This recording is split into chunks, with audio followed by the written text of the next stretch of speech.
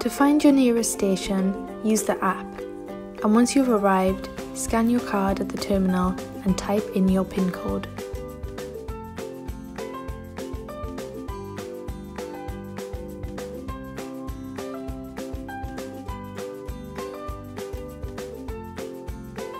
Next, you must select an available bicycle on your screen.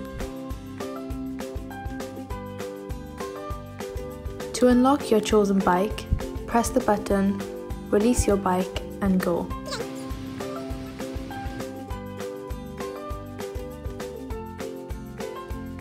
When you have completed your journey, simply locate the bicycle at the nearest station with available stands.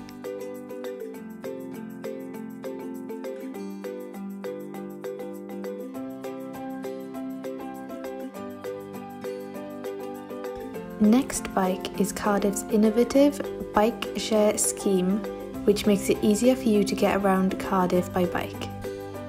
The bikes are situated across the city, catering to locals as well as tourists. Sign up using the app, by phone call, or by using the Next Bike website. The quickest way to register is by using the Next Bike app. It's free. You can also register and manage your account on the website. To get started, locate your nearest bike station using the app.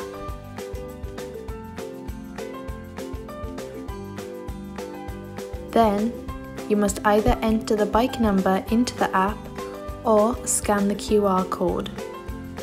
You will then receive a 4 digit code which you must enter on the bike in order to unlock it.